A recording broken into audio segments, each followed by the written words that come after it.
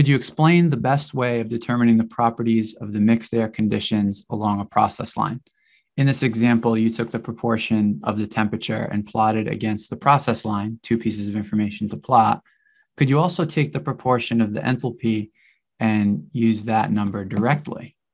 And I think the answer is yes. So I'm going to expand a bit on what I think this question is driving at. And hopefully, in the process of doing that, I'll, uh, I'll answer the question and maybe anticipate some other related questions as well.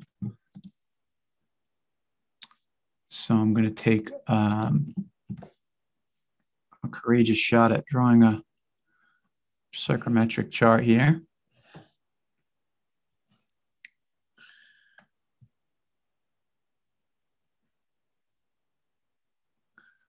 All right, so in general, uh, if we have a process line, and I'll kind of do this arbitrarily because um, I don't want to, I want to keep this general, and then we can answer specifics related to that question. So let's suppose you have some process line that goes from A to B or B to A. I won't even specify that, but maybe it's a cooling process and it goes from A to B. And then uh, the question is, can you directly specify the enthalpy for some point in between? So let's suppose we're doing a cooling process from A to B, and we're only going to go part of the way there. So maybe we're going to go to some, I could do halfway, but that makes it a little too simple. I actually want to make it a bit interesting. So maybe we choose some point X that's, uh, I don't know, 20 or 30% down the line. Let's say it's 30% of the way down the line. So this kind of gets at what linear interpolation is actually all about. Because for any of the parameters that are linear on the psychrometric chart, we can say that if a uh, that if x is 30% of the distance from a, then any other linear parameter will also be 30% of the way from a. And you can almost think of that graphically. And in some texts, like the Mechanical Engineering Reference Manual, they call it the lever rule. So you can think of it as the distance from a to x as a proportion of the total distance from A to B is the same uh, for any linear parameter. So what are the parameters? Let's draw some more lines on this. So the parameters are going to be the dry bulb temperature, which is on the horizontal axis, the humidity ratio, which is on the vertical axis, and the enthalpy, which is up and to the left, but still linear, even though it's on an angle. And then the wet bulb turns out to be the, the lines of constant wet bulb are parallel to the lines of constant enthalpy. So we can also consider that to be linear. Uh, to be t- completely technical, the wet bulb is not perfectly linear with the enthalpy, but it's so close to being the case that there's no exception that I've ever come across where you can't um, you can't just go directly from wet bulb implies enthalpy and vice versa. So then what can we say as a result of that? Well, we can say that this distance from A to X, let's talk about um, dry bulb temperature first. So the temperature A minus the temperature X is some proportion of the total change in temperature, A minus B. And by the same reasoning, we could do that for the humidity ratio as well we could say that the humidity ratio at A minus the humidity ratio at X equals the difference in the humidity ratio between A and B. And we could keep going. We could do this for enthalpy as well. We'll probably run out of space at some point, but the enthalpy at A minus the enthalpy at X is the same as um, A minus B.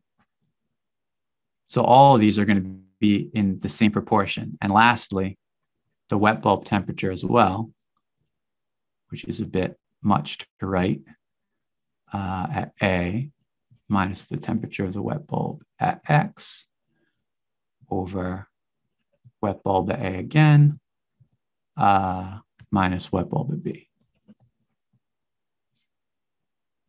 Those are all going to be equal proportions. So tying that back to the original question,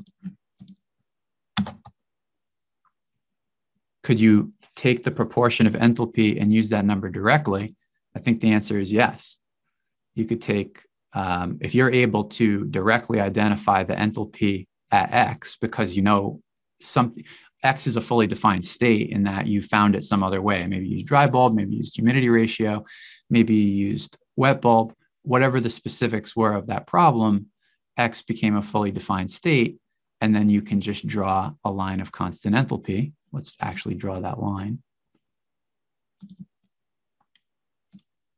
There's our line of constant enthalpy. And then we can pick the enthalpy off of the linear scale on the top left of the psychrometric chart. So that's the general answer to this question. Now the second part of the question, I'm going to read uh, past my annotations here just in case I want to refer to them again. Why in this problem did you use the specific volume of the return room air and not the specific volume of the mixed air? I know you've spoke about which one to use and why before, but just wanted to help solidify. I had assumed using the specific volume of mixed air, which was more like 13 cubic feet per pound. This assumption did not change my answer too much. And in the problem, the answer was not close to the others, just curious. Yeah, good question. And I took a look at this one and it did look like it made more sense to use the mixed air. So I think you, you took the right approach. Uh, I think I was probably going a bit fast and I took the um, specific volume at B, which is uh, uh, probably a bit of an oversight on my part. I think it'd be more appropriate to take the mixed air as you did. So uh, one of the good things about that is it sort of sh- shows how tolerant some problems are of uh, of making different approximations. Let me just draw a few lines here of constant specific volume. So I didn't mention um, other lines. Like we have these lines of constant specific volume coming down across the psychrometric chart. And technically, those are linear as well. But because most process lines for heating and cooling are going to pass through those lines almost perpendicular, it doesn't make a whole heck of a lot of sense to try to interpolate on those. Um, so, Zach, did you want to chime in at all on that? No, I think you answered it. Um, I think my biggest confusion here was um, if you're taking the ratio between A and B on the enthalpy line, can you say that that ratio is the same on the, the dry bulb temperature line or the um, humidity humidity ratio um, linear scale? Right. So that's kind of like saying that this is the same as this. Yeah. Does that make sense? I, I sense you're you're up for it, but you're a little uncomfortable with it.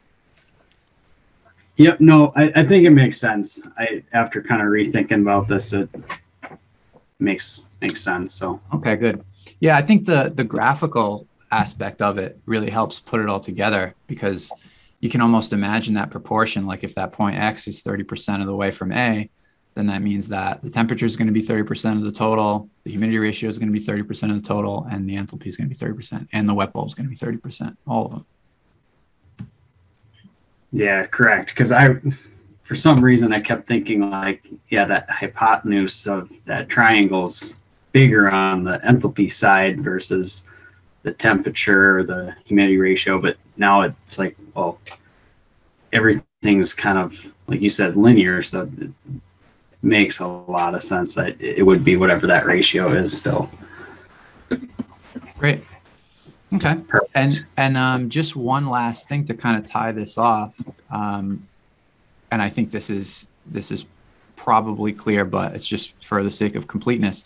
Since we're saying dry bulb temperature, humidity ratio, enthalpy, and wet bulb temperature are all linear, then what's the one thing that's nonlinear? And of course, it is the relative humidity, which is why it has these curved lines that sort of parallel the, the saturation curve. So all these things that we're saying that you can just use the lever rule and set up these proportions, that's true for absolutely everything with the exception of relative humidity. When it comes to relative humidity, we've got to actually use the definition and um, you know find any two things, any two facts that will fully define that state, and then either graphically look up the relative humidity or apply the definition. So that's a good little review of psychrometrics.